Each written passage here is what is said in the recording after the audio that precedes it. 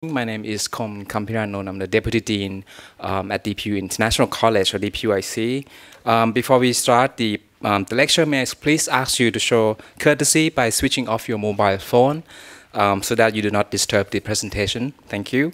And now I'd like to invite Professor Dr. Bunsem Wisakun, President Emeritus, to give the opening address. Please welcome Professor Dr. Bunsem. tourism governor Tan Soropon, uh, Vice President DPU Tan Punsak, uh, Dean Dr. Harold, colleagues, students, and guests of DPU. Good morning, everyone, and welcome you or to DPU on this rainy day. It's my great pleasure to welcome you all to a spe special lecture given by the Governor Kun Surapon Sawit Serani on topic how National Tourist Office can stay relevant in today's dynamic tourism industry. Tourism is a major services industry in Thailand, with record-breaking arrivals of 20, 24 million tourists, with 1.1 trillion baht of revenue.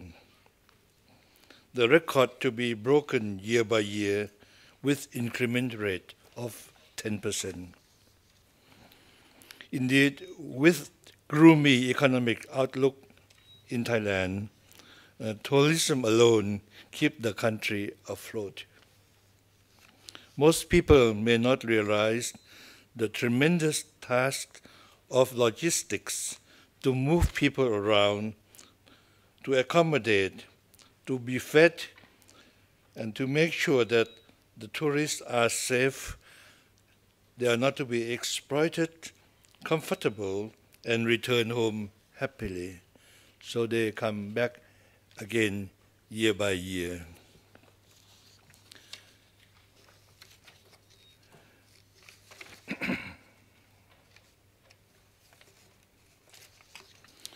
um, Kun you must have played important roles in planning and organizing these services. With 30 years, more than 30 years of experience behind you to make the level of services to the level of excellence as we witness today. DPU are also grateful to Kun Surapon on other occasions that you did invite DPU to join in in important initiatives by the Tourism Authority. We learned that you will be retiring soon. With great experience in tourism industry, we hope you could use your experiences and your past records of good officers to continue work for the development of tourism industry. If DPU could be a part of this development, we shall be most happy to participate as a corporate social contribution project of our university.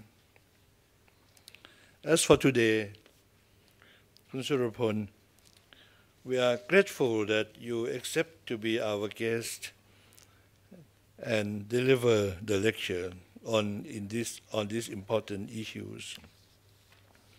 I shall now declare open of the lecture and invite uh, Kun Surapon on the, on the stage. Please join me in welcoming Kun Surapon. Thank you. Dr. Bunsem Wisakun, President Emeritus of DPU, Vice President Punsak Panut Norapan, Deans, Rectors, faculty members, and students of uh, Dhurakij Pundit University International College. Good morning, a very good morning. As the president just had his uh, opening speech, but uh, this, this morning is quite a, a torrentially wet day, but I'm very happy that we have quite a good crowd here. So thank you very much for attending. And it is my great pleasure, it is a privilege and honor to be here with you today after, you know, a lengthy uh, communication with Dr. Kom. At last, you know, we can make it today. So today I would like to give a special lecture. We call it a special lecture. So nothing better than, you know, talking about something that I know best, that is working in the National Tourism Organization, or we call it NTO. In tourism, there are many, you know, sectors that involve the private sector and the public sector. And generally in the tourism industry, you always have your national tourist office who acts as the uh, public sector who guide or has the role of the driver together with the networking of the whole industry, generally the private investor and the private uh, uh companies, of course.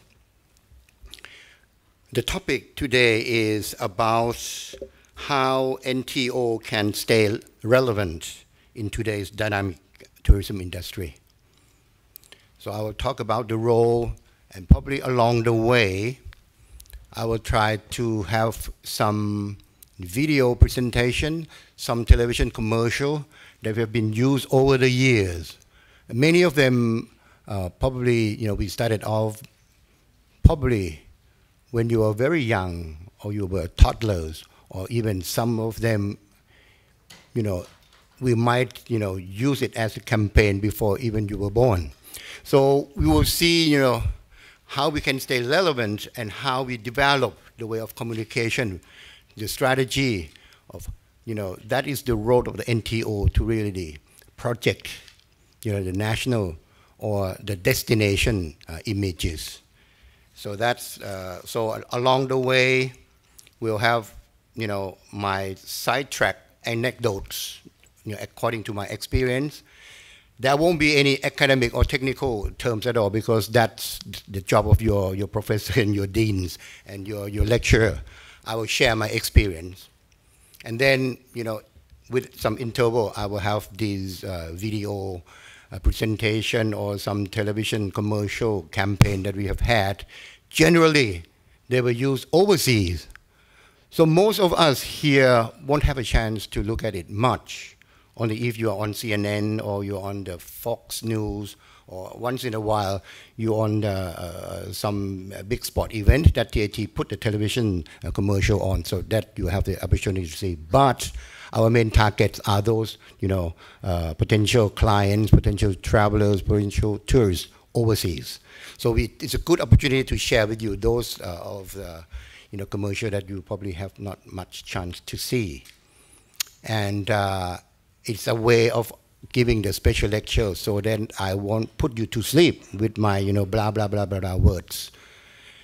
And I would be very upset if I see someone fall asleep because, you know, I prepare lots of texts, lots of, you know, uh, uh, PowerPoint, and if you fall asleep, I'll be very upset and disappointed. So, you know, the one sitting next to each other, you have to look at your friend. If you fall asleep, you know, give him a pat, you know, wake up, wake up, because he won't give much of the lecture anywhere.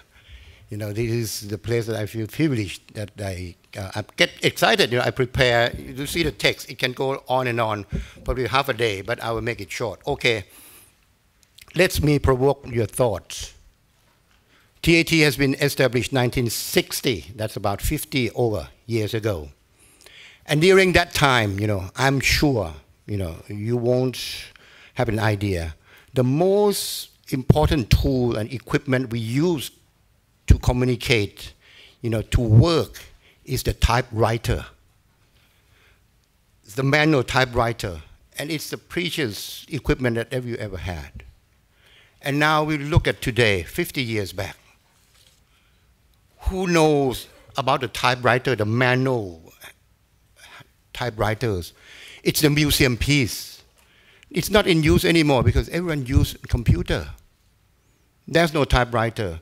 But that's how things changed. And if TAT wants or NTO or any business want to stay alive, you know, and healthy, you have to be able to change. In TAT, we have few typewriters, of course, but it, you know, it used for decorative purpose. We have flowers and we have you know, some plants growing over it. Just you know, give the respect to the typewriters, but it's not something that we use anymore. It just, you know, what we try to see that things has changed and it's changed dramatically with technology, with the environment, with the social, with the legal, with the politics, whatever change to the business, tourism as well, industry, it's no exception. It's change. So if we want to stay relevant, we have to be able, you know, to keep ourselves awakened and, you know, going with the tide for the changes. Let's give an example, just very recent example. Thai tourism generally in the past, we depend very much on the traffic from Europe. They stay long, they got the money, and uh, about 60, 70% of the income coming from the European visitors. One of our one of the, our oldest or the you know the, the, oldest office that we opened overseas. The first one was in New York. Second one is in uh, Frankfurt. The third one is in London. You know, you name it. Mostly they are in the European countries, the long haul and medium uh, haul market. And just only very recently afterward, we have in Japan, we have in, uh, in, in, in, Singapore, we have more in, in the ASEAN countries. China came very much later. So what I'm trying to say that, you know, the last few years in Europe, they have a big crisis uh, on Eurozone and, you know, our tourists from that area in particular slow down quite a lot. In that change, what are you going to do? The number of rooms that we have available in Thailand is still the same. We can't afford to have less travelers coming in. We can't afford to have the room occupancy rate drop like that because the business people will suffer. So the strategy is how can we really bring in some other market to fill in that gap.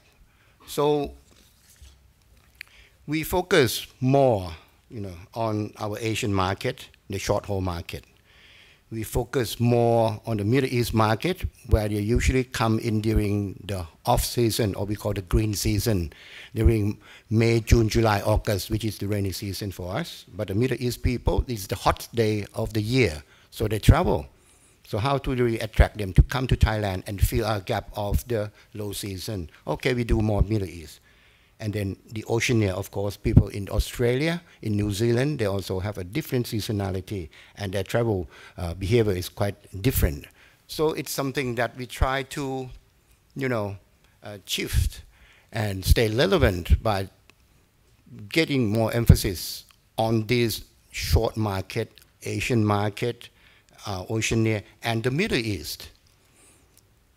And the result uh, we achieved another year of record-breaking performance, even though with the Eurozone uh, crisis, we still uh, recorded 22 million mark of arrivals to Thailand that particular year. And it is the first time that Thailand hit the 20 million mark. So that is something that, you know, I, I would like to tell you that it's not that TAT is doing it alone, of course. Uh, but as we are the leader, we are the driver of the industry. We are working together with our networking and our, uh, our partners, uh, mainly the hotels, the tour operators, the airlines. Yeah, they are the major partners that always walk together on the same path uh, with the same goal. In the year that we are having the Euro crisis, uh, the effort that we put more into the uh, uh, neighboring countries and in the regional area, we have seen the increase of, for example, China. We have seen a tremendous increase of Chinese market to Thailand to over 2 million. In China, I'm talking about last five years that we give a lot of emphasis. And we we think ahead and we also forecast that this market is going to be very important for Thailand.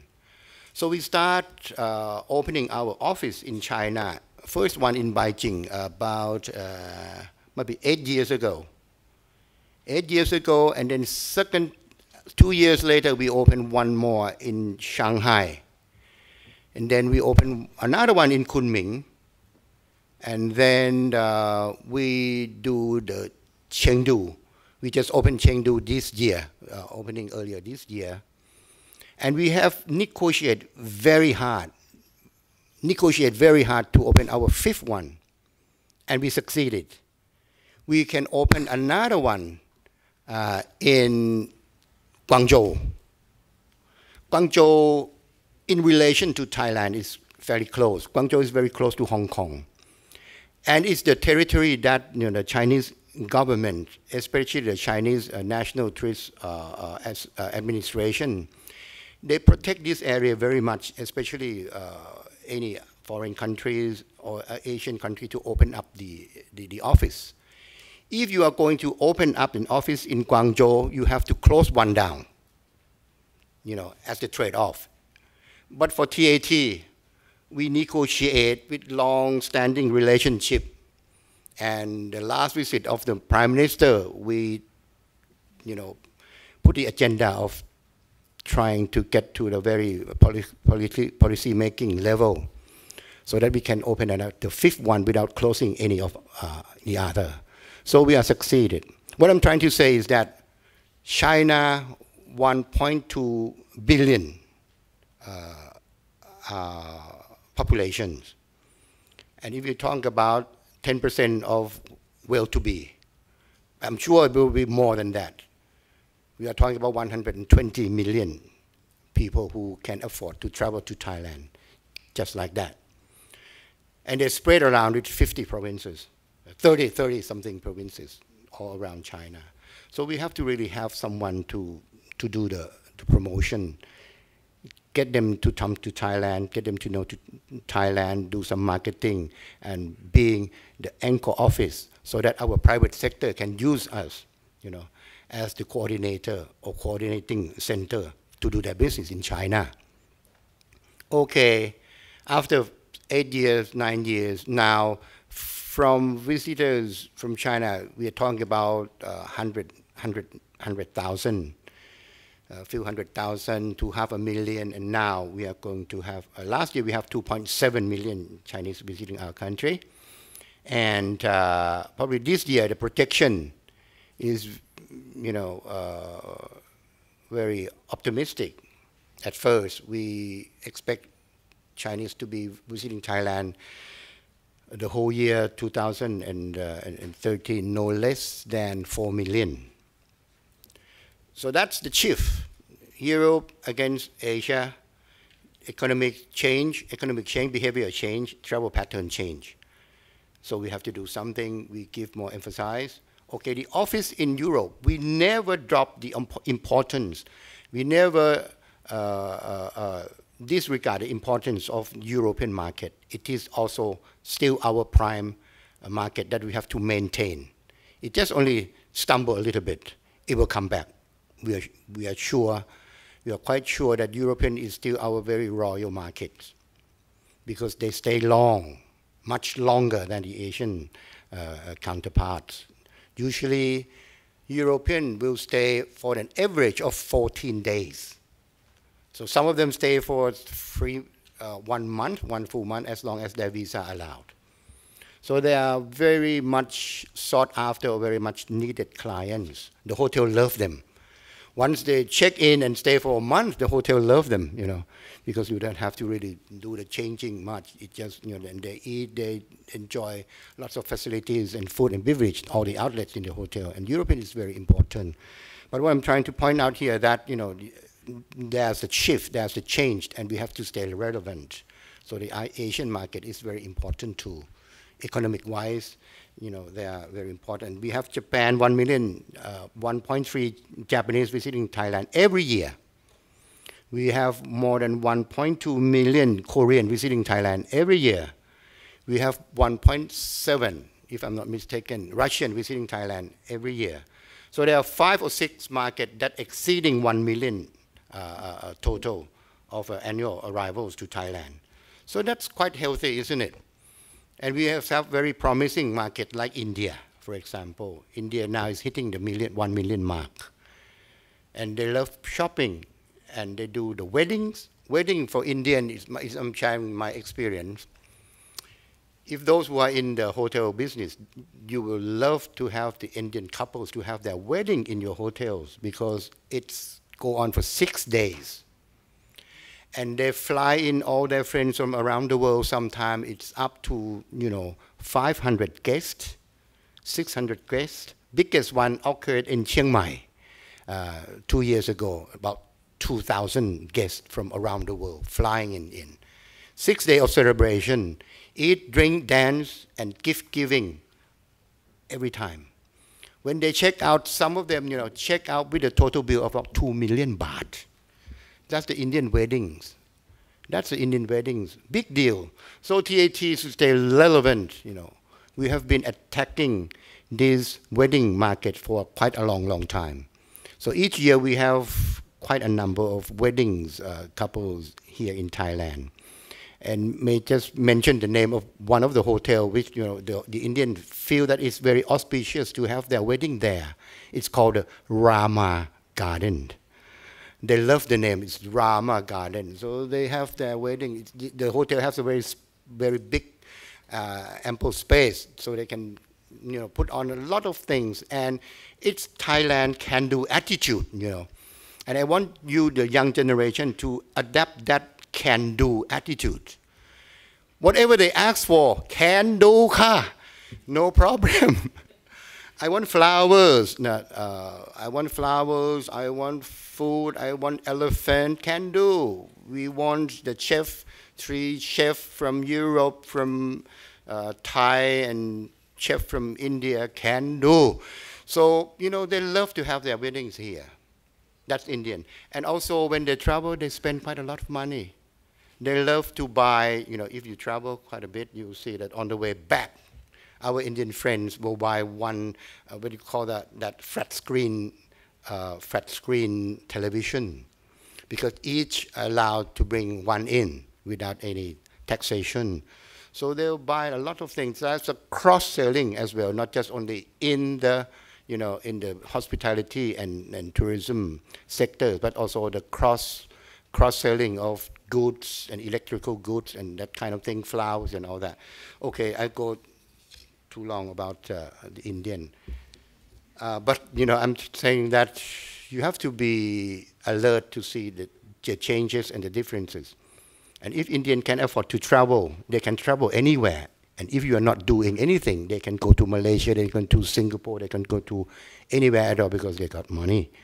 But TAT, we have to stay relevant. So we open the office and we give uh, emphasize on doing the annual strategy for Indian market, especially. So we have one in Delhi, we have one in Mumbai. And uh, we, have do quite a, we have done quite a good job. We have won many awards, you know, presented to us by the uh, Indian government and the Indian travel industry. And uh, the role of TAT now, as I mentioned earlier, we are the driver, and uh, tourism is very important uh, industry. Uh, in the bad times that Thailand has facing our economic crisis, it's tourism that help bring back, you know, uh, the the economic situation. And for tourism alone, each year, we've made a foreign exchange of over 30 billion US dollars. So it's just one single industry. Because when we talk about export, we talk about rice, we talk about cars, we talk about uh, uh, uh, uh rubbers, everything combined as the export. But for tourism, we count ourselves as one single industry that build 30 billion US dollars.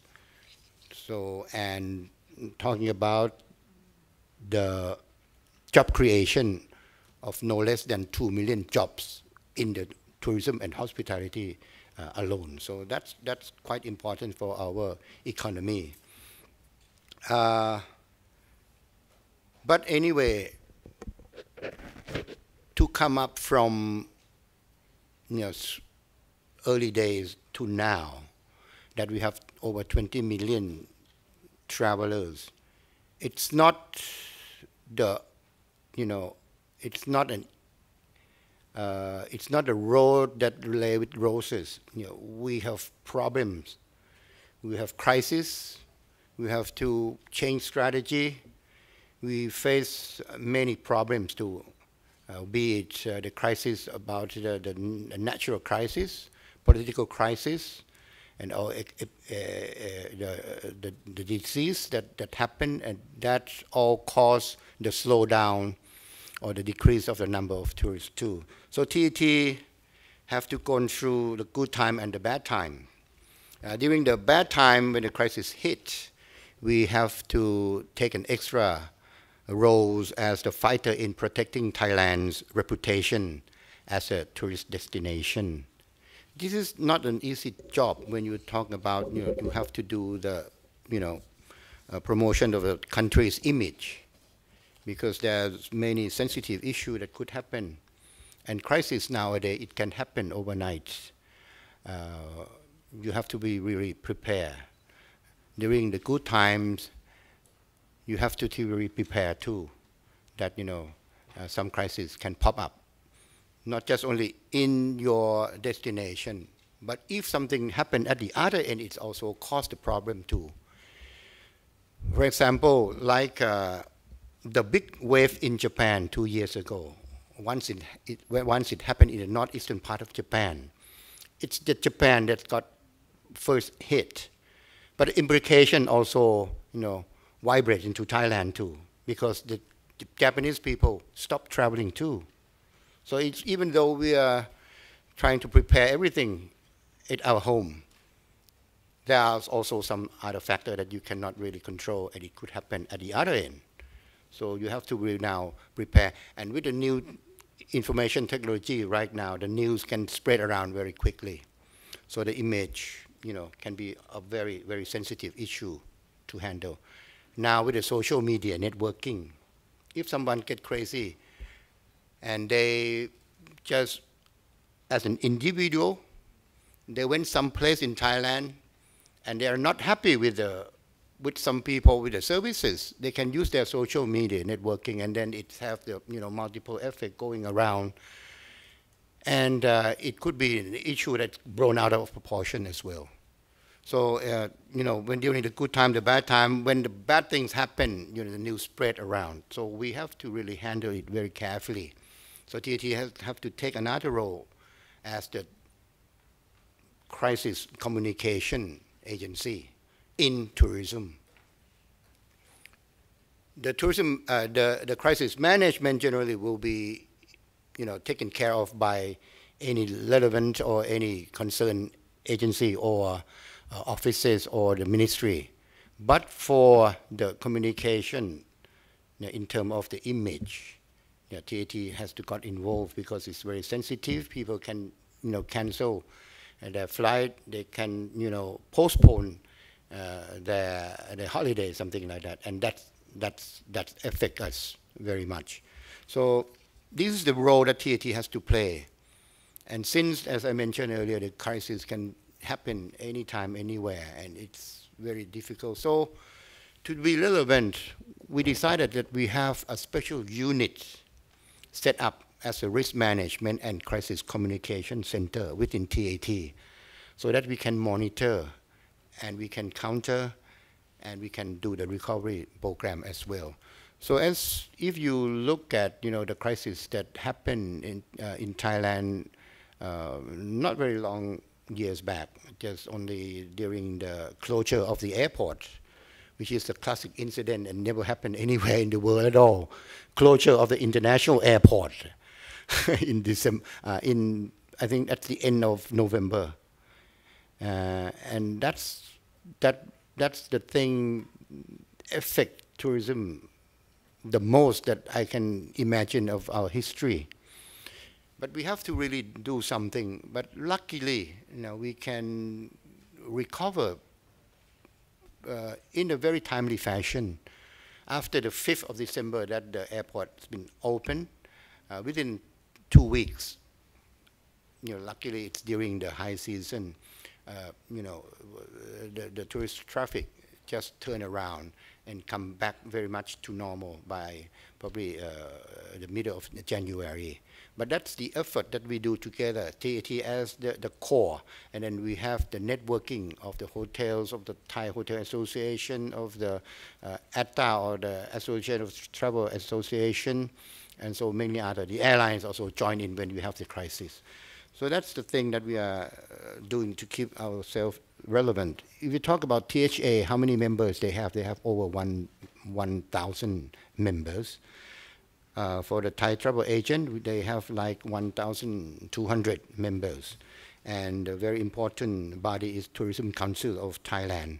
They have more than 200 organizations. So that's quite a large networking that we have to work together, and TAT working as the coordinator, as a core. Now, there are some other business or uh, other function that we, we do as being the NTO too. That is to be the coordinator again for the private sector and our uh, business operators to do their business. We have offices overseas and we also join in many uh, of the trade events. Uh, we bring Thai tourism mission to different markets so that uh, we can go or we can penetrate you know, new market, we can find opportunity, and we can also maintain the existing markets through the promotion activities. And generally, uh, each year we have more than 50 uh, events that TAT will join, and private sector can also participate. The biggest one will be one in in Berlin called the ITB, uh, International Tourism Börse in Berlin, where, you know, the whole world, just like an Olympic, the whole world of tourism industry will gather. And we bring you know, roughly about 100, 120 uh, travel operators and hoteliers together with us to uh, stage Thailand and to do some business contract. And the second one is the, in in London, that is the World Travel Market. We also bring the same amount of uh, uh, tour operators and uh, business operators from Thailand to join us. Uh, and it's usually in November. So this year we're going to go big too in November. And there are many others that we join in. And apart from the big travel trade, we also join in the consumer fair. We also join in the, uh, uh, we call the road show when we want to penetrate some specific market. And also the roadshow for the niche market. Niche, uh, we'll talk about that later. Uh, but that's the main, main task that we have to do. The, the reputation of the country, the image of the country, and also we do the promotion, the trade promotion uh, for the sake of the uh, travel business, the private sector. And uh,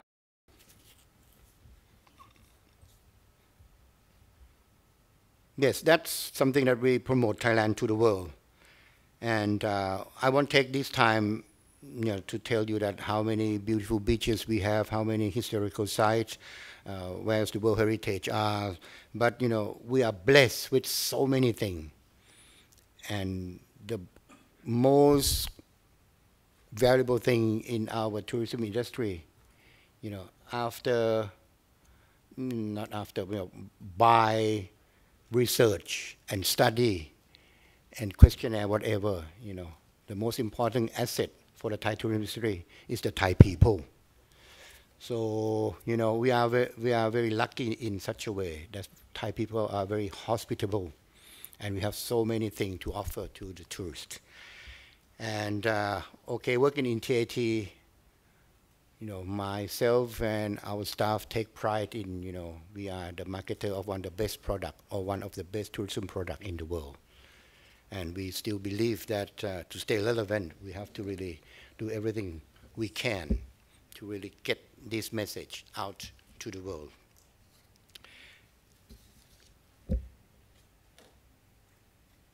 Okay. And uh, how we can get the message out to the world, having such a beautiful country, beautiful people. We find out that, you know, uh, buying space, buying time, buying minutes and seconds from television and the big Uh, uh, uh, broadcasting is very expensive. The other way that we have been doing together with the private sector quite successfully is using the celebrity. We call it celebrity marketing once the big names come to Thailand, we try to make the big deal of it.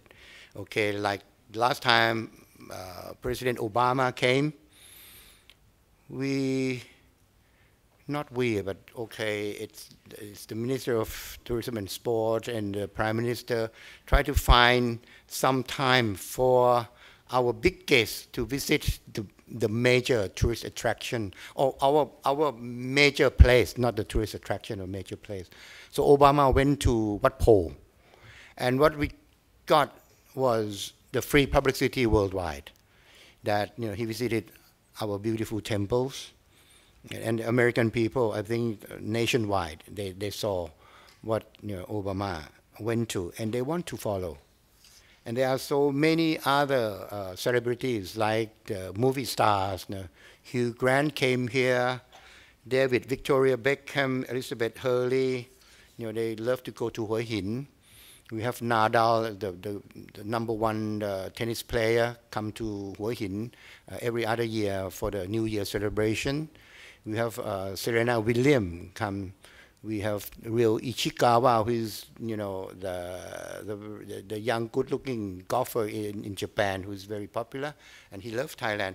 Those people are the celebrity who came to Thailand and helped us publicize, you know, our uh, beautiful country. And also the movie and the film are also a very important uh, channel for promoting Thailand. Did I miss anything that we should show some video yet or not just yet? Not yet, okay. Because uh, I think I talked too much. I want to have something different to alert our audience. But okay, the movie, the film, uh, since 1974, 1974, how many years ago? That's over 30 years ago. 40 years ago. Oh. Now, we, I think the majority of the people in this room weren't born yet. 1974 is a James Bond movie. And it made one of the, you know, a very simple natural wonders. It's a rock in the middle of the of the, of the sea, very popular, called Koh Tapu, and it was called James Bond Island. And since 1974, this place, you know, in the old days, nobody want to see it because it's just a rock. But once it's turned to be the James Bond Island, it's put into the itinerary for every, you know, tourist who coming to Phuket or Phang They have to go to the James Bond Island to, since 1974. The good thing is about it is, you know, they create jobs. Those fishermen usually go for fishing. If it's a bad day, you know, fish, bad luck. But with the James Bond Island, you know, just come up from the movie. Uh, on the free day, they can take the tourists, go to the James Bond Island. You have the picture? Yeah, that one. Okay, and that's come from the movie, purely from the movie. And then there's the, the beach. Uh, the beach. That's that's more recently, about you know, five six years ago, where uh, DiCaprio he filmed. Yeah, he starred in, in, in, in, that, that film called The Beach. And it makes uh, the Ao Maya in Krabi very famous too. And that's the way of using celebrity and, you know, uh, and uh, that kind of, uh, of marketing. And there are many, many films that have been made here, Hangover 2. The Thai people don't like it very much. But uh, in the America, it's quite a big hit, and lots of people go there and enjoyed it. And they look at it differently because they think that that's the film, that's not the reality. But the Thai people sometimes they they think it as an offense, you know, that, that this movie show bad things about Thailand. But, you know, it's a balance. And uh, The Hangover 2 also feature Thailand and make Thailand quite popular. Or at least you know it's uh, it's it's remind people of the uh, of the, the city of Bangkok and some beautiful places in Thailand. But the latest one I would like to give you an example is the the, the Chinese movie called uh, Lost in Thailand. Uh, it's been done last year, and it's been uh, it's been shown in in China worldwide. It's a record breaking for uh, block, blockbuster. It's it's a low budget movie. I tell you the, the fact, and they have contacted TAT in in in in Shanghai for our support. So we give them a very basic support of you know logistic, uh, some accommodation and food, and uh, some joint uh, uh, joint fund of very little as two million baht. And they made a movie, but the result of this movie make Chiang Mai, you know, a magnet city for for Chinese people they want to go to Chiang Mai just because of they saw this comedy and they want to go to Chiang Mai and visit places. And uh, it made a lot of difference.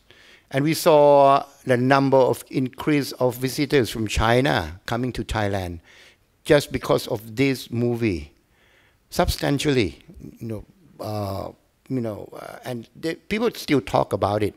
I saw that movie, and I, I think I don't know any of you have ever seen that movie yeah, uh, uh, what, what do you think? I, I think you must have some kind of the same background or same culture, or you must have good knowledge of uh, Chinese language to really understand it, enjoy it. For me, it's just fun and very nonsense movie, but you know, it's it's a big, big, uh, it's a big hit. So lucky us. I mean, you know, we, we invest very little but you know the result is quite uh, you know uh, uh, it, it gives a very good result by by this movie.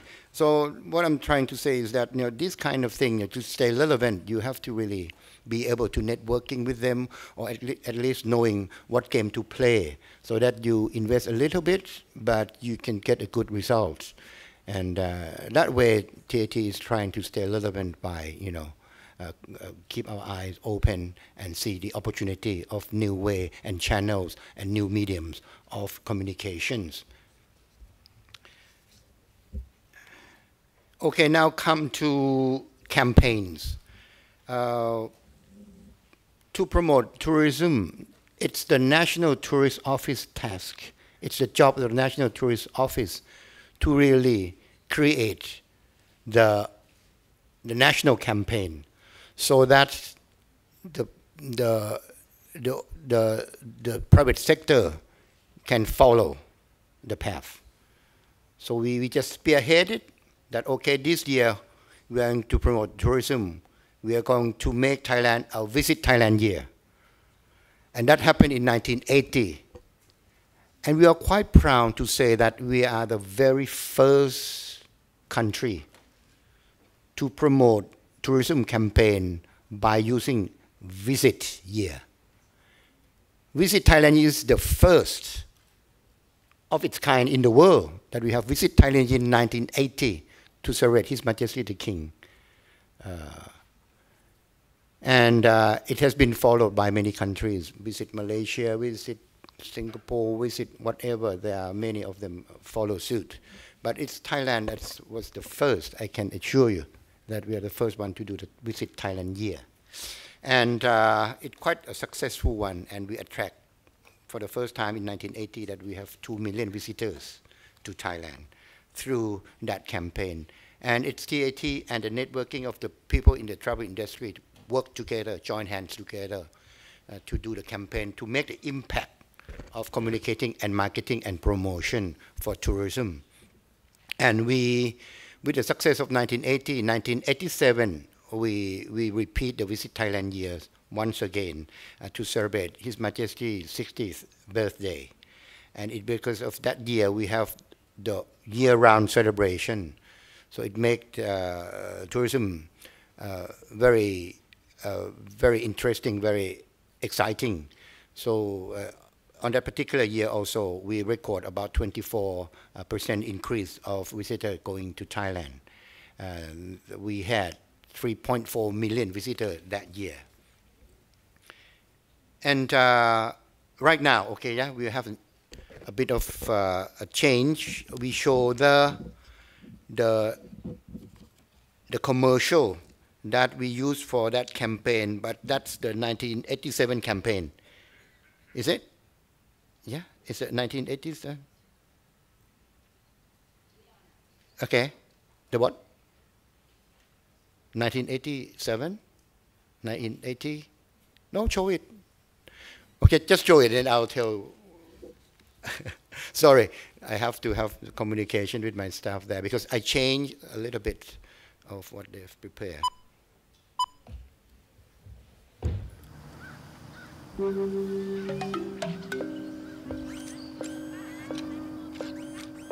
here, your neck muscles loosen.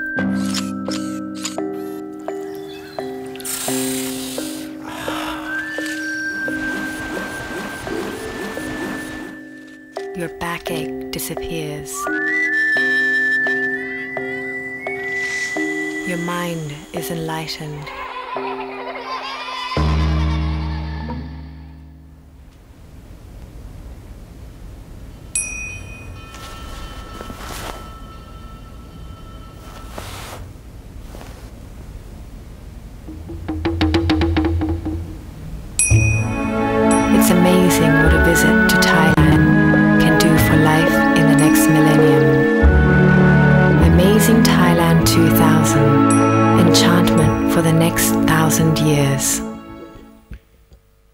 Commercial we used in 2000, uh, but we still use the campaign Amazing Thailand.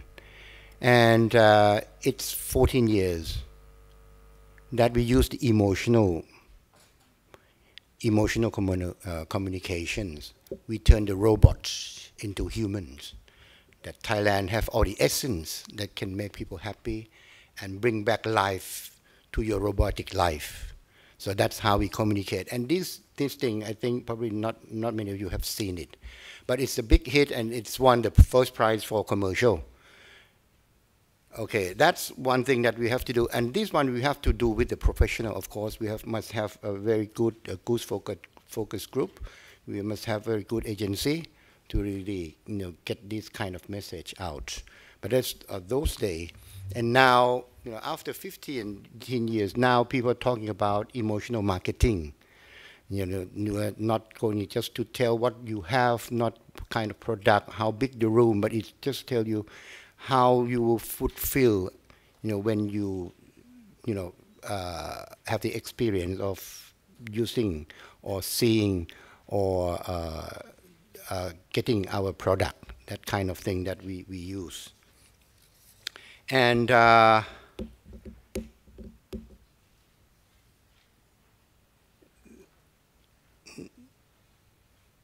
from this on, I would like to say that, okay, that I mentioned earlier, there are, there are lots of crises along the way too.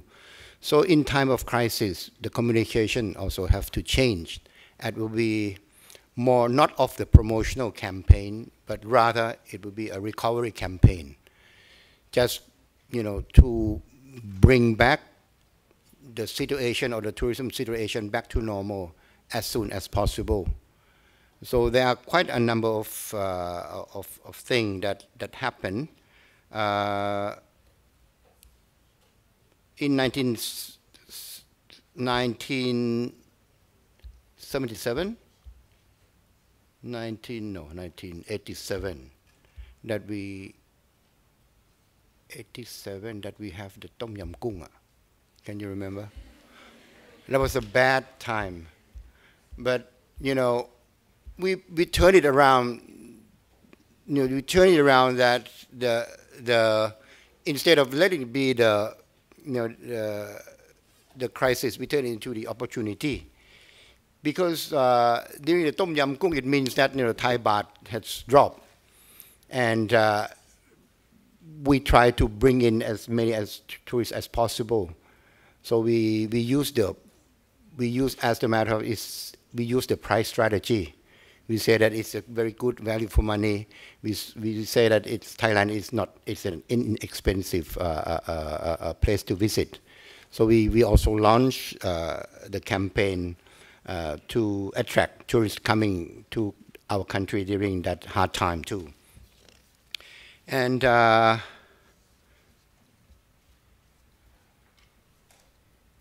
Nineteen, oh yeah, it's 1998, 1997, 1998 that we had the Tom Yam Kung.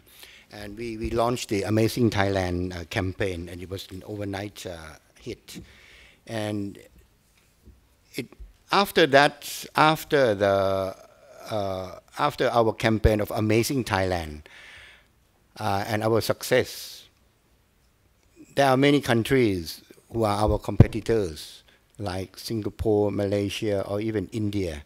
They also come up with that kind of similar uh, campaign. So we'll see during those days there will be uh, in, Incredible India as a matter of fact, has been created and launched after you know, uh, about a year or two, about two or three years after Amazing Thailand. And uh, India used uh, Incredible India until now. Just same like uh, Thailand, we still use Amazing Thailand because it's been well received and uh, it leaves a very good impression and it's also a reflection of our brand uh, uniqueness. So we still use uh, uh, Amazing Thailand to this day. It, we only change, we keep Amazing Thailand like, you know, like a brand for tourism industry. But to keep, to stay relevant, Amazing Thailand stay, but we always change the tagline to stay relevant with the different situation. Uh, this year, we also keep Amazing Thailand, but we might change our tagline. The tagline that we used last year was Amazing Thailand always amazes you. But uh, probably this year it's about time that we change the tagline, but Amazing Thailand will stay. Uh, and that's also the task of the TAT and the National Tourist Office to really find the campaign, the tagline, something that represents the brand, but still keep it sharp you, know, you can stay the same for a long, long time, but you cannot keep changing it all the time too because the consumer will get confused. And also the people industry just cannot follow you. And it's very costly too if you change the campaign every year. The one who is going to be happy is the ad agency you know, because they want to get the money and, you know, all the production and all that. They would, they would love to come to you and say, oh, the campaign is now getting rusty. You need to change. Every time that we change it at agency, it will come up in your code. You have to change the campaign. But we have to be, you know, we have to be, to be realistic because sometimes doing the promotion overseas, we are talking about, you know, how many markets, we have 47 markets all around the, the world that we have to communicate. Sometimes one year or two years, you just not complete your task of communicating or let them know, you know, by using the blanket communication medium. But you, it takes years and years before people really get to understand and buy your campaign and buy your, your brand identity. But if you keep on changing, it's just going to cost you more and more, especially the destination brand. I think for myself, I think it, if it's a successful one, stay with it until it's broken. If it's not broken, don't fix it, but just refurbish it and make it refresh. That will be fine, and it's less costly, and uh, generally it have a more effective communication uh, results. Crisis management, I've talked already. Setbacks uh, uh in many years that we have to have the Crisis Communication Center. 2006, uh, we have another good year by commemorating the, His Majesty the King Bhumibol Adulyadej uh, accession to the throne uh, as the longest uh, ranking monarchy. So we have another campaign just to refresh the amazing Thailand. We call that campaign the Grand Invitation. And that year, I remember we promote a lot about the very auspicious uh, occasion that the people can join in. That is the royal barge procession. Uh, and it was one of the best year for communication and make Thailand world to the world, uh, make Thailand known to the world with that very, very special and very unique uh, royal barge procession and the campaign of uh, the grand invitation. Do you have anything with this? No. Okay, 2008, we have another big celebration year, and uh, we share the news of the king's 80th birthday, and that year there were all the monarchy around the world come to visit Thailand. It's all the big celebrity come to Thailand, and that make a very big news and also reflect on the publicity and the awareness of the people. And it helps a lot when people come to decision making. When you do the communication and it has been disseminated at the right time, it affects a lot about the people when they are going to make decision. Malaysia, Thailand, Malaysia, Thailand, and once you know Thailand coming, you know, uh, with something very positive, it makes them it make it a lot easier to decide. But right now we have to be cautioned that a lot of countries now doing a lot of marketing communications. Malaysia spend heaps of money, you know, and I think no less than five times, six times more than Thailand to communicate. And if you're sitting in your in your living room watching television, whatever you know, AXN or the the the, the any international or CNN, you see Malaysia, truly Asia, and the sound of their the music and the percussion is right now, you know, implanted into your your back of your mind because they, they communicate all the time, and that's very effective. Uh, but they can do that because they, they have got good budget. But what I'm trying to say is that uh, the competition is very high now even now, right now, you see the commercial and the promotion by Indonesia, who is doing a lot of promotion now. Philippines, who has been very quiet for a long time now, Philippines step up their communications, step up their marketing communication and their promotion too. They want people to visit their, their country. Even Japan, after the big waves, Japanese realized the importance of bringing back their economy through tourism. In the old days, Japanese don't care much about you know, inbound tourists. They care more about their domestic. And also, they even think of if the Japanese travel abroad, the more travel abroad, uh, it saves the resources in the country. So they have the campaign of 20 million uh, visitor from Japan going out of the country, which is the opposite direction. But once the big wave come, they, they, they do a lot of promotion, and every prefecture, prefecture is just like province. They have their own government or something like that. They go out for promotion to to attract tourists coming to Japan. And many of them, many prefecture come to Thailand and try to work uh, with our travel agency, tour operators, outbound operators to, you know, send out the outbound uh, groups to, to Japan. So the competition is, is very strong now. And in the landscape of these uh, communication platform, it's, it's very, very fierce. The United States, they used to stop uh, the section in the commercial Ministry of Commercial, Ministry of Commerce, something like that, uh, the tourism sector. But now after Obama, they re reopened that office, and Obama even talked about promoting tourism to the United States, which is the very first time that I ever heard United States talking about that. Other than that, they just you know doing their own uh, state by state, state to state promotion of tourism and, uh, and, and, and, convention. But right now they speak very clear message about, you know, promoting tourism to the US, for example. And forget about UK, Italy, France, they also very strong about tourism promotion. Uh, I have another TV commercial just for a break. Uh, this is after uh, the year that we celebrate our 50th anniversary of the establishment of the Tourism Authority of Thailand.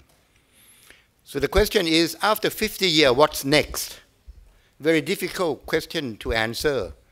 But we feel that Amazing Thailand is eternal. I mean, I mean Thailand as a tourist destination will gone for in forever. So our tagline, just to be relevant uh, to our, you know, auspicious uh, year of celebration of 50 years, and we are going to look forward to another 50 year ahead. So what we say is amazing Thailand, what? Amazing Thailand always amazes you. Make it simple like that. So we put a commercial of Thailand always amazes you, right? So we show you the video right now.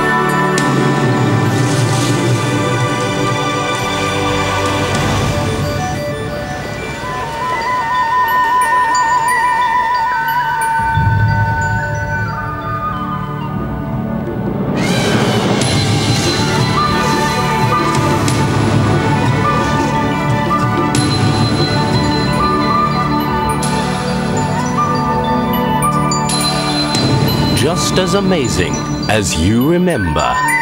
Amazing Thailand always amazes you. Yeah, that's uh, the commercial we launched. We launched uh, during the 2010, 2011 during that time, and we used Thailand always amazes you, just to to stay uh, true to our our tourism assets. You know that we have the culture, you have the people. It's not just only that some country has to do because they lack of all these resources, so they have to come up with the man-made. But you have to accept the fact that you know, the man-made is also important. But somehow the investment of the man-made attractions in Thailand is not that uh, strong. Anyway, with that, to stay, you know, that we can stay competitive, we have to really focus on what we are now having. But I still long for any new man-made kind of attraction as well, something that combined with, you know, with technology.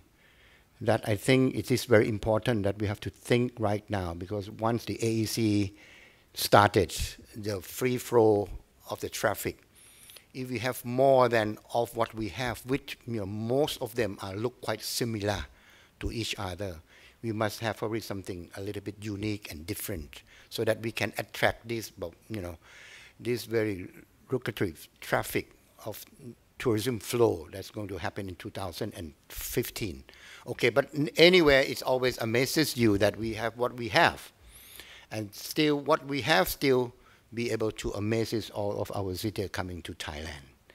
And what always amazes you is also our people. It's the message that we try to get across when we do the campaign. Okay. Then, as I mentioned earlier, uh, there are so many challenges. Uh, we have to fight uh, many crises, political crises, uh, since the military coup in 1992, we have the riots 2010, closure of the airport 2008. We have tsunami in 2004 uh, that make also a very big impact on our tourism. And uh, also the latest one that we have been working very hard with the communications is the 2011 flood which uh, I think I would like to share my experience of the flood in 2011. We cannot deny that the 2011 flood is one of the biggest devastating uh, uh, uh natural disaster that happened to our country, mainly to the industry, production industry, the industrial uh, estates. And, uh, but for tourism, as a matter of fact, do you know that only less than 5% less than 5% of the flooded area were the tourism attractions. So it's it's the the, the the fact that we have to really communicate that you know not all Thailand is flooded. You can still come to Phuket, you still come to Chiang Mai, you can go to Isan, Hua Hin is okay. It's just only part of Bangkok and only some part, very few, very small area of Ayutthaya that affected. So during that time, we have to work very hard, but the the communications and the message that most of the people worldwide know about Thailand is that it's everybody's like up here. You just cannot really come to Thailand. And the most, you know, most, I would not say effective, but most destructive picture, one single picture that affected Thailand tourism the most is one that been taken by our internet, uh, English newspaper showing the Thai Thai aircraft, you know, parking with, you know, about a foot high flood. And as a matter of fact, that plane is under the, what do you call, re repair. And it's been on the front page. And this has been disseminated all over the world. And this is the task for people in the tourism industry to really tell them that no, the, the airport is operating as usual and the picture is, was taken in Don Mueang. So during that time, you know, uh, August, it was August, it was September, October, November. During that time, that you know, the news gets get around, and one of the very big uh, news agency, they have their representative or their reporter. Anywhere with the high flood, they will go there, and then report and make you know, the issue even worse. But for tourism, it's about 5%. And we have to do quite a lot for the recovery. Uh, that's just an example that, you know, something, when the communication, if you cannot do the counter communication, it's going to be very difficult. And the recovery won't take, the, the recovery will take a much longer time. And the damage will be, you know, a lot more. You, you think of the operation of the hotels you know, if they have to stop for, say, 30 days, the staff, the food, you know, everything is going to be damaged. Uh, the airline that you have to fly every day, and if they have to stop or flying with the with the empty plane for the plane, I mean the, the airline industry, I think only seven days. I think they can went bankrupt. They can go bankrupt with, with this kind of uh, uh, uh, disruption. So there are many things that we have to do, but okay, I stress that we are not doing alone, but we are the coordinator doing with the networking. And I think uh, I have this opportunity. I have to say that in the travel industry, the, the academic, the universities, uh, also playing a very important role, and it's going to be even more important uh, in terms of, you know, because I say that one of the strongest asset of Thai tourism industry is the people. And the people must be trained. People must be understanding whether you are going to be in the promotion, you in the services, whatever. You know, right now the competition is very high and you have to be very knowledgeable.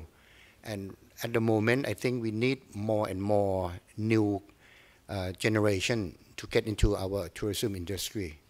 So I think even in the good time or the bad time, I'm thinking of in the bad time, if we have networking with the university, which you also have, you know, uh, the experts in, in different uh, area, plus the expert in communications, and, and so on, we can also you know, work together for the sake of the national uh, tourism industry too. So I think uh, it is very important, and you are sitting in this room, you can play a very important role for the very important industry of the country. And we are not talking in the future, if the AEC is opening up, it's not, we are not talking about 30 billion US dollars anymore, probably it's double that and we're going to need a lot more of the expert uh, skill uh, uh, manpower into this industry.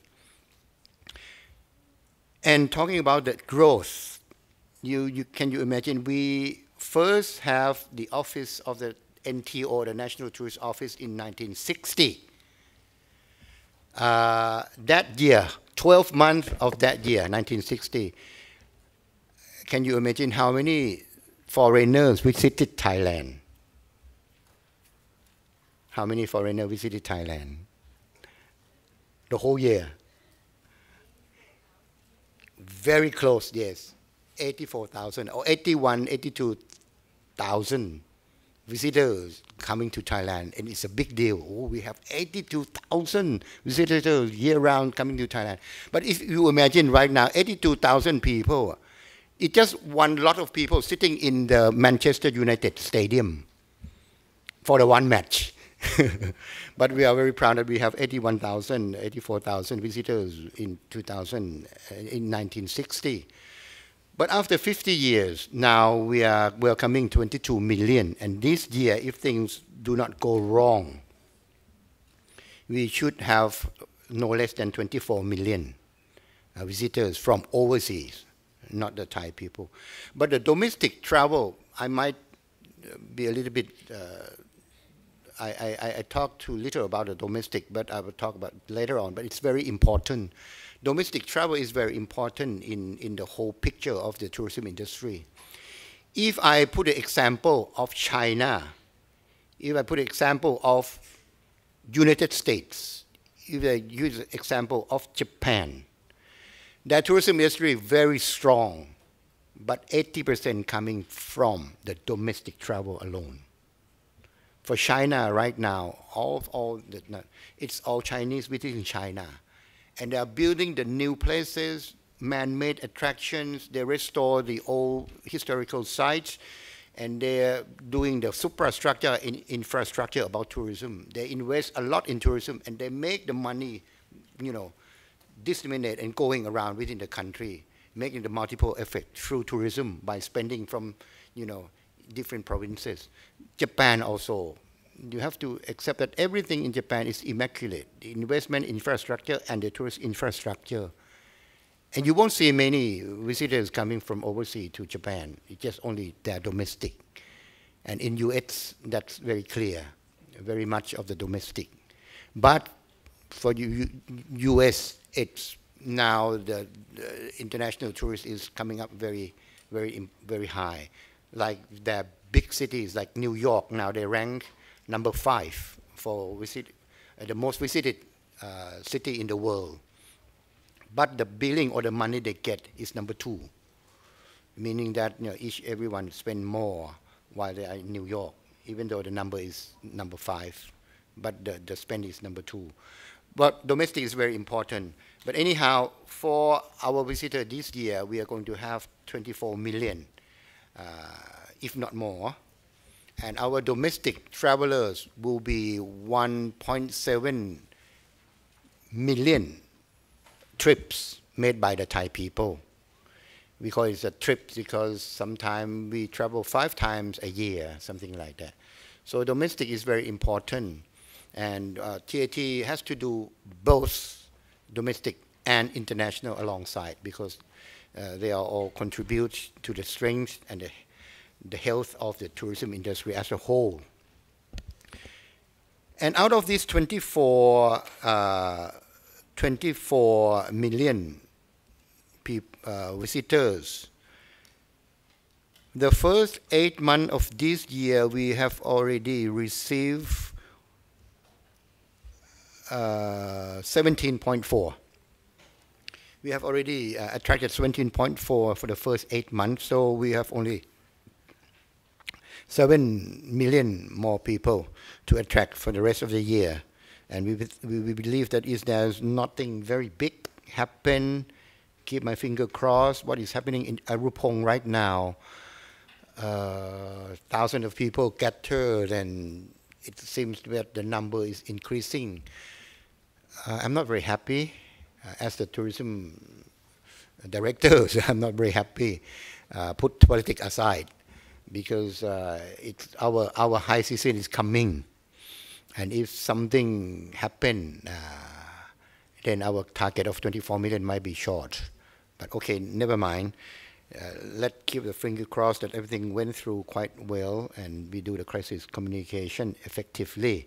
So we have 24. The source market, biggest source market, of course, first China.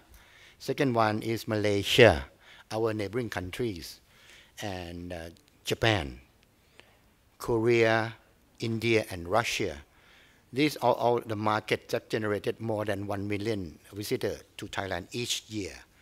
China, we expect to receive them about uh, 3 million, 3.5 million this year. Japanese has recovered very well. Uh, I think this year we'll, we are going to have more than 1.4 million Japanese coming to Thailand. And the reason why these four markets are very, very important and quite large in terms of volumes is because of our study clearly shown that destination, um, I mean, the source market and the destination, if it's, they are within the six hours flight, uh, it's probably the most, uh, probably the best access. The accessibility is the best. So we can see that, you know, uh, China, Malaysia, Japan, Korea, India is about six hour proximity. And uh, luckily that Thailand, geographically, we are quite in the very uh, aviation hub a mean, from the you know uh, in the east in, in the Asian region, and also we are not very far from from from the Middle East, and also from the long haul market like Europe. And right now there's a change, and we have to stay relevant again in TAT in terms of doing marketing and uh, and business opportunity. Now you might, might notice that, uh, okay, here's Europe, here's Asia where Thailand located. Halfway is the Middle East. What the Middle East now is doing that they are stepping up in the aviation business, in aviation industry. Emirates, they have the Emirates airline. Uh, Abu Dhabi, they have the Etihad. Uh, there are a few more, Qatar Airline. They all step up beautiful craft, big fleet, newest, you know, 380, they have numbers of them. And the traffic is not Middle East, Europe. They are making themselves as the connecting point. So right now, there are a lot of European visitors coming to Thailand or Asia by using these kind these uh, airlines, Emirates, Etihad, Qatar Airline, uh, and few more of the of the Middle East airline, and their network is very very broad. They go to not the main city but also the secondary cities as well, and that's only connecting point in the Middle East, and then you can come directly to even to Phuket or to Bangkok or to Chiang Mai directly from there. So that's that's the new thing. But you know, the six-hour proximity is still, you know, the, the most convenient, and we find that most of the tourists, the big market, coming from that area. And uh, our marketing plan for 2014. You know, after that, we, we, we, we are quite sure that we are going to hit the 24 million mark 1914, we have already laid our plan for next year, and we we project that we will have probably 28 million visitors coming to Thailand in that year. And we are trying to change the name of the game. We are going to change the game plan. As I have the opportunity to talk with uh, uh, some of the executives at the universities, we agree upon one thing, the direction we have to change. It's not a number game. I, I'm telling you that, okay, 81,000 now to 20 million, 20 million to 24 million, and it's going to be 28 million. How long this number game will go on and on? We have to think about it that, you know, the more the number, probably it's not the, it's, it's, it should be the quality, not the quantity that we are focusing on. So the strategy of the marketing in the next few years, uh, we started a few years back already that we are going to change the structure of the, we have to change the, the, the marketing or the business structure.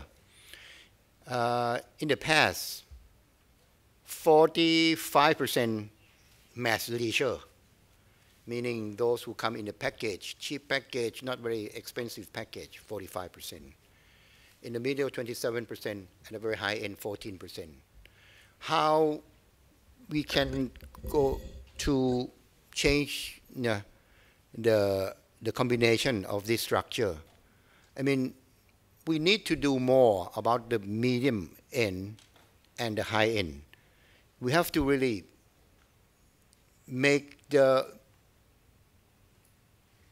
the 14% of the high yield bigger, probably to 15%, 17% to 20% and also the medium one, which is very important too. We have to really expand that uh, market to the larger size, and let alone you know the the the the the, the leisure mass.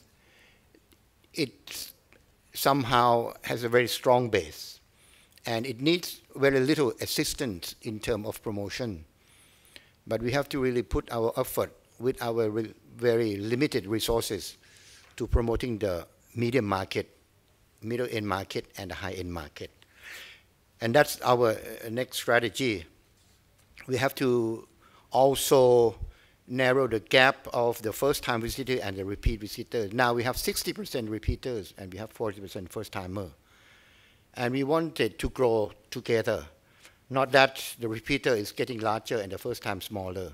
And we don't, if you don't have the first time uh, visitor, you won't have the repeaters anyway and, and, and, and, and the market base won't increase. So we have to attract more people from the new destination, from the new city, from the secondary, uh, secondary towns where there are no direct flight. But we have to encourage, for example, for a start, we might have to work with the, uh, the charter flights to at least you know, get accessibility for those first comer who would like to come to Thailand but they don't have access or they don't know about our country that much so that we can increase the ratio of the first time visitor to our country as well as the repeater. It's the story of success if you have good repeaters of course but it means that they come and they love it they come. Anyhow uh, for us we still need to attract more the first time visitors so that we can expand the client base to a larger uh, base of medium and the, the high-end uh, uh, market. That is our strategy.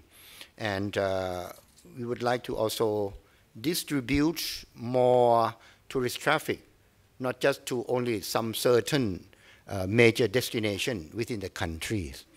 According to our marketing research, there's only 11 destinations in Thailand, provinces or destination, whatever you call it, that uh, received more than 500,000 foreign visitors. So it means that we are still limited. You know, the concentration of the visitor coming in only 11 destinations.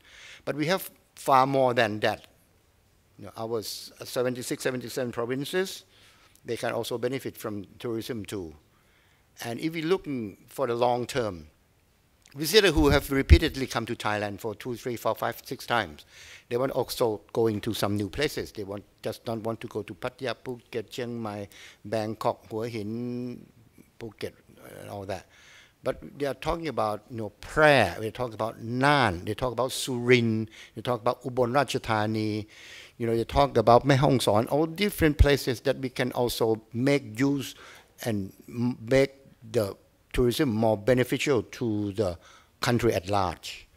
So we also want to spread around the tourist traffic into these lesser known places uh, so that there will be a balance and also it will decrease you know the wear and tear you know the what do you call when when people get into one place too many of them it's the environment it's the social problem it's the traffic it's all that you know uh, impact that that that you know got on top of the environment and the well-being of the locals people too if you can spread them around, it's just a, a good strategy, but it takes time.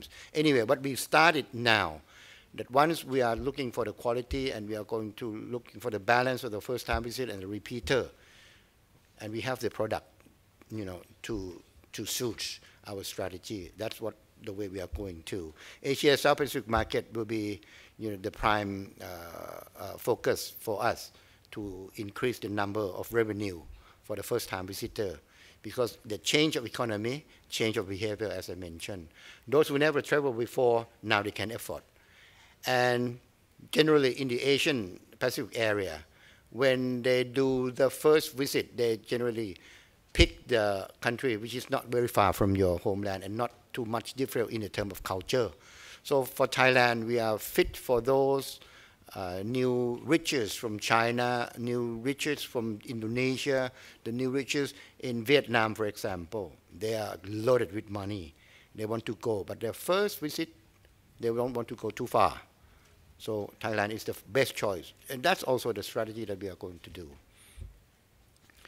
ASEAN, big deal, big things. AEC, 19 million people, six, uh, something like that. But we, we talked about the cream and the, the, the, those who the well-to-be, the wealthy one. We are talking about many, uh, many, uh, many uh, hundred million people who can afford the travel.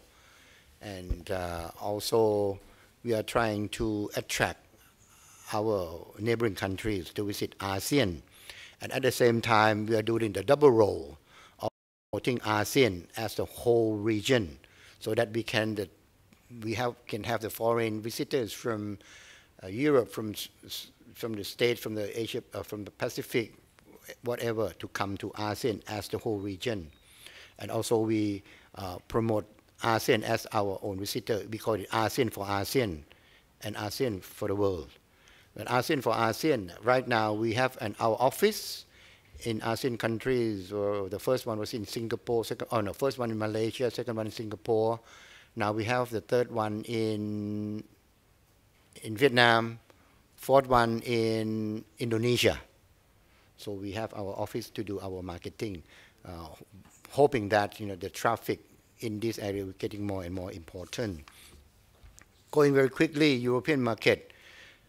Still, we are focus, focusing on the prime or quality market from, from Europe, uh, the medium market, uh, and also the first time visitors from the new or the secondary city are coming from that area. And the second, we are share the medium and large market from Italy and Spain, Scandinavia, UK, Middle East will be the prime market that we are trying to uh, do some more promotion.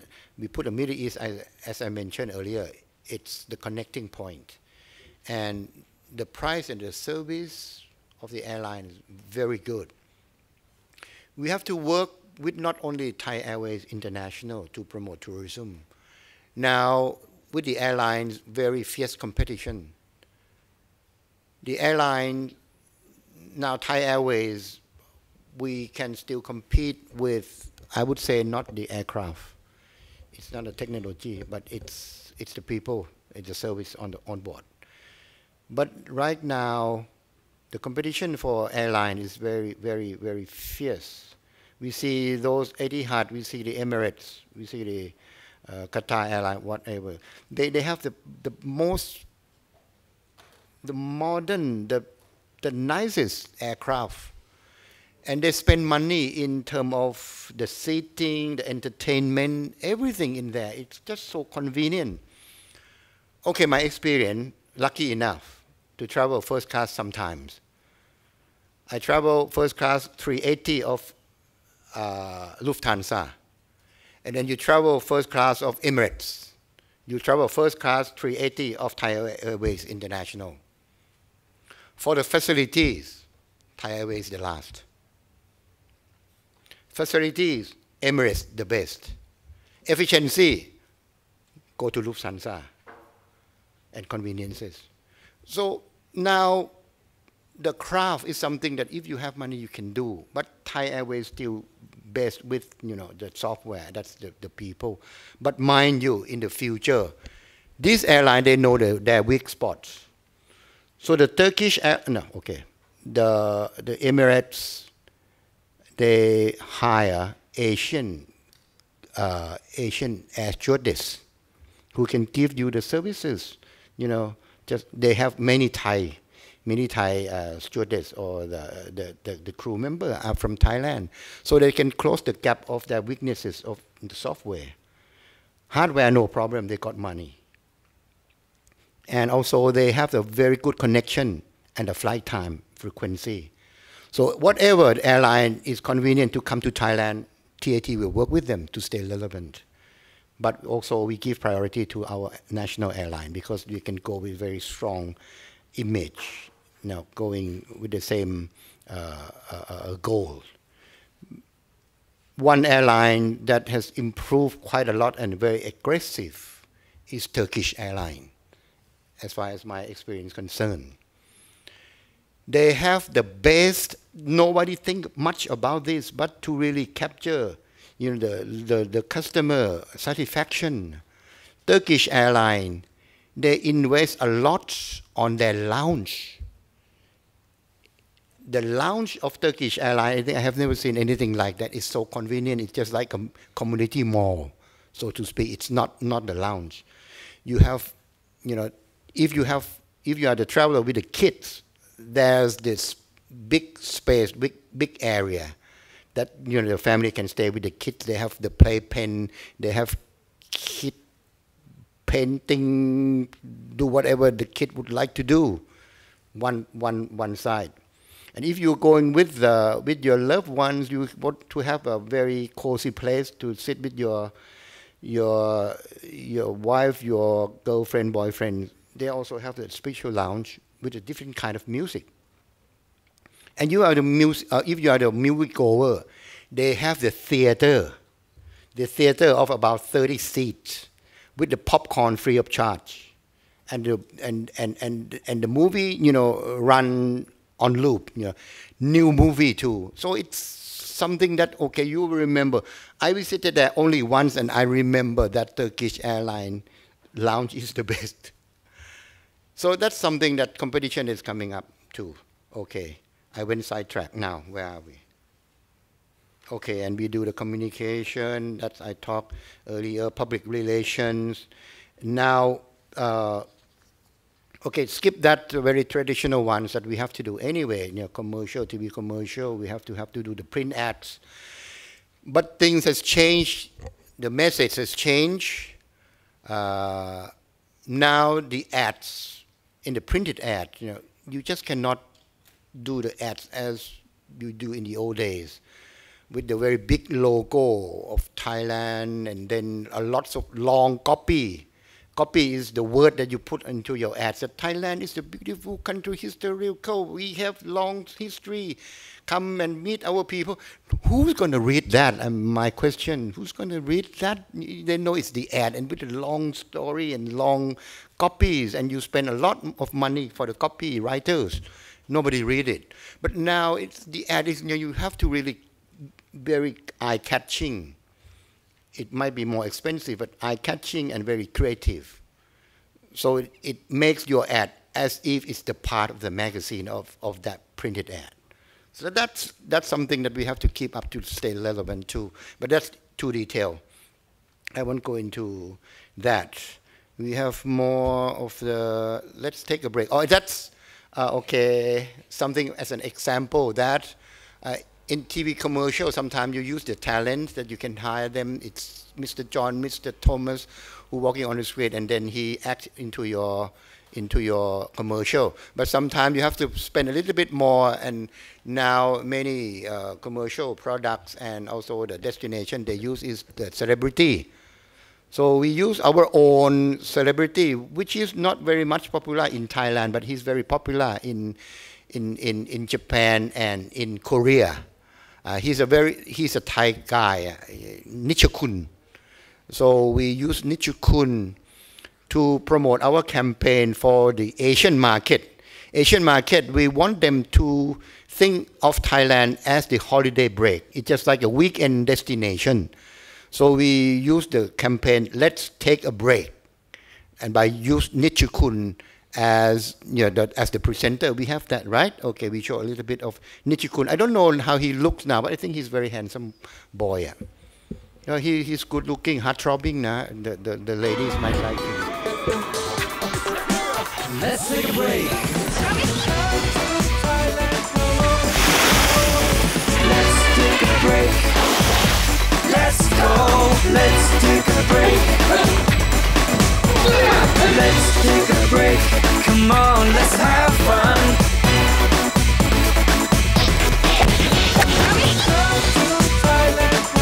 Come to Thailand.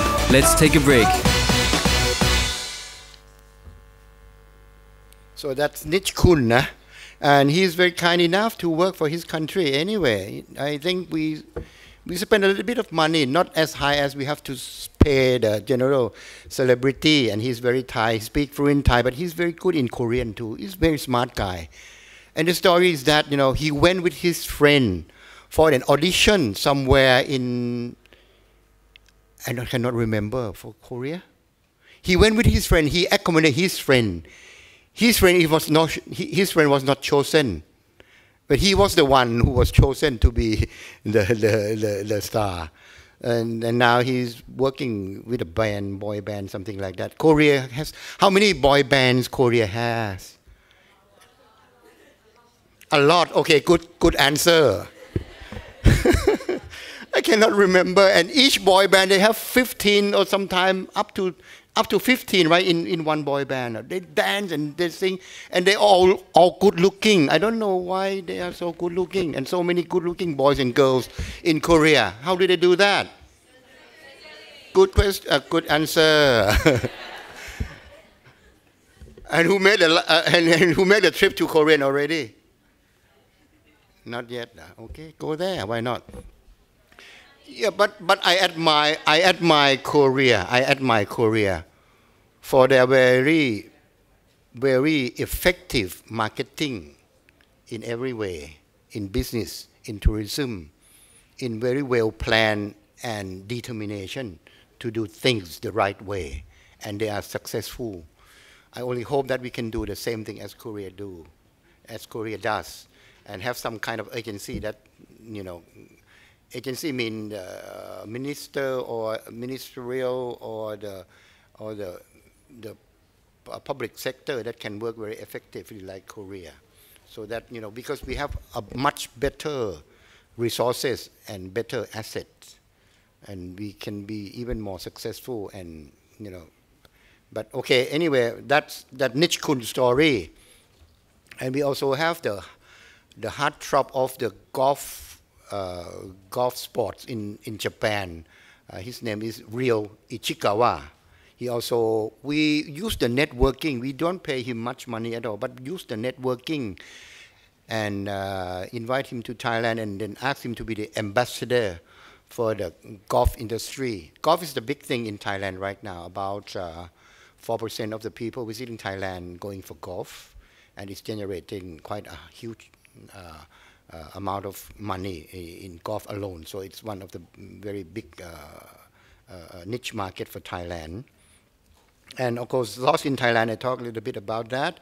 The movie like The, Bachelor, uh, the Bachelor and all those, all the beautiful, you know, handsome guys. And also, I would like to take, I think the time is running out now. Uh, I still have probably a lot to go, but I will cut short. I will come with, okay, the, the new channel of your generations that, of course, TAT to stay relevant, we have to go online, of course. And the landscape you know, of that has changed a lot. Less expensive, more effective, and it's the two-way communications. And as right now we are going to the 3.0 marketing uh, uh, generation, I think it's a value centric, not just product centric and a consumer centric anymore. We have to be able to really communicate effectively so that we can really touch their emotion and making the value visible. So I think uh, not just only that traditional communication uh, anymore that can do all the job for you, but it's now it's the online, it's so, social media networking. And uh, yeah, I still see someone still, you know, you're always online, you're always on Facebook. Now, Line probably is most popular thing for the kids. Uh, yeah, are you online? Ding ding. Ding ding. Line. Ha ha. Send the stickers, all that. Okay. But you can keep communicate all the time. But we are doing it. Even the commercial now, we have to do it in the different formats. Not the one, uh, not a 60 second, 30 second, 45 second television commercial. But we are doing a three minutes, six minute episode. We call it a web episode and put it on YouTube. You know, and it is, and it stay there and people get engaged. And you can see how many people view 3 million, 4 million, and the big hit can be like, you know, 35 million, 65 million, 300 million people. And that kind of communication is also very good. I would like to take some time. Can we skip to the, the YouTube one that we have uh, on the Hearing the Sunshine? It's the, the episode that TAT used, and we have, you know, many million hits. And it's communicating in a way of more emotional way, why, whereby you cannot do it through the, the commercial of one minute, two minutes. And three minutes commercial, you cannot call it commercial. It's like a vignette and it costs you fortune, you cannot do it. But through this medium, uh, through the internet, we can really connect, get connected to our uh, consumer too.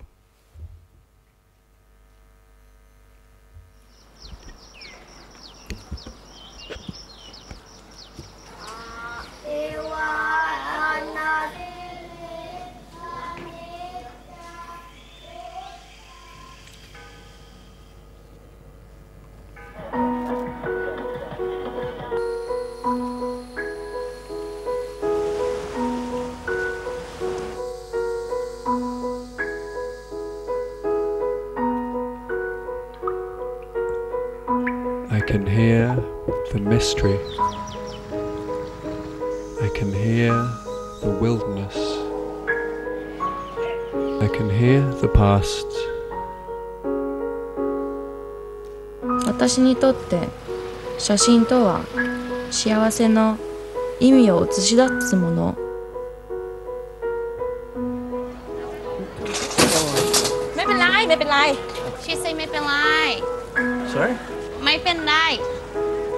I don't get it, sorry.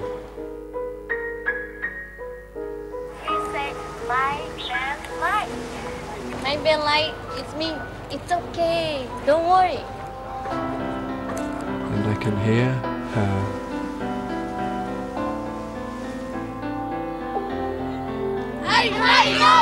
May Belay, May Belay. May Blue, May Blue. May, May Blue. I didn't order this. Uh, May Belay.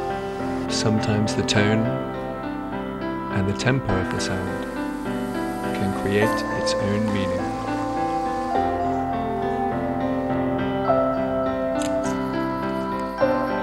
Hi. Hey, hi.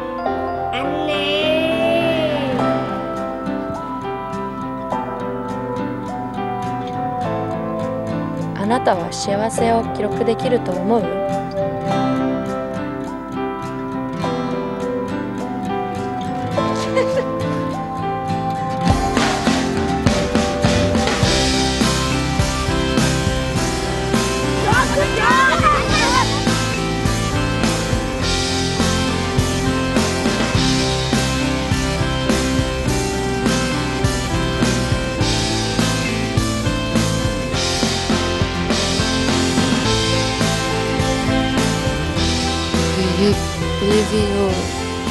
recording can give the moment?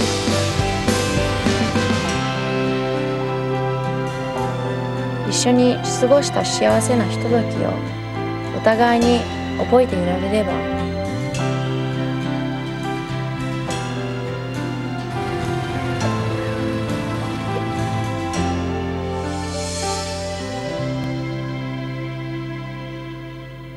Gentlemen, I would like to end my presentation here as long as you have a, you know, in a good and high mood.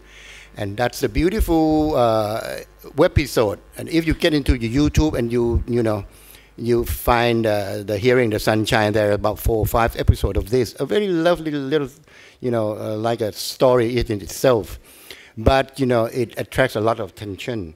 But we have a lot more of this thing. But, you know, since time uh, does not allow me to, to go any further, and I don't want to go any further to hold you back from your lunch, I think it just only, you know, it's a very uh, good moment. I'm, I'm, I'm very happy to be with you here.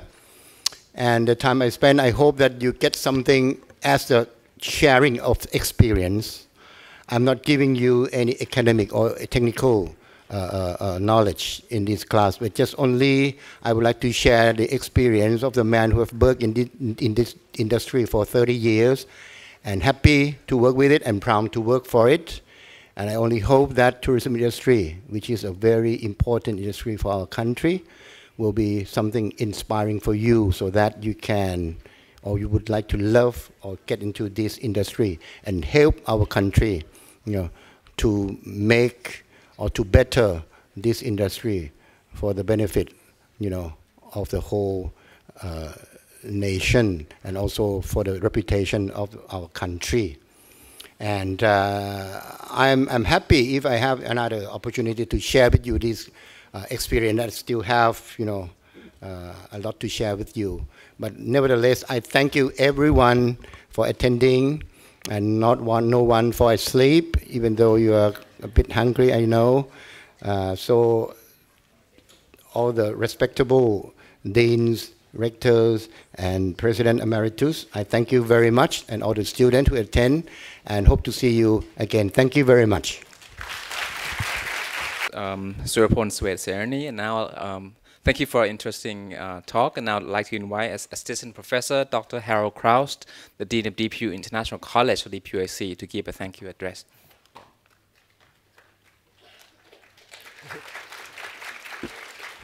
Good morning, everyone. Um, on behalf of uh, Dhurakij Pundit University, I would like to thank you, Kun Surapon Svetasreni, uh, the governor of the Tourism Authority of Thailand, for your for sharing your uh, very informative and interesting and uh, entertaining insights uh, about the work that you do for the TAT. Um, if I take away some of your uh, phrases, I I would remember something that is relevant not only to your industry, but of course to all of business, which was you mentioned uh, adapting to change, uh, staying relevant, and managing crises, and the importance of Korean boy bands. I don't know. Uh, very, uh, very relevant um, phrases that were uh, a, a, large part of the theme of your um, of your presentation this morning. Um, as someone who is in a sense in charge of, as you mentioned, uh, 24 million tourists and a 30, a 30 billion dollar industry, one of the biggest I imagine in the world, one of the biggest tourism industries in the world. Um, uh, your, your job, of course, must be very daunting, but uh, very, very important for this, uh, for this country. So I'm, I'm very sure that the, the students and indeed the staff who have gathered here this morning have found your, uh, what you have shared with them today very, very valuable.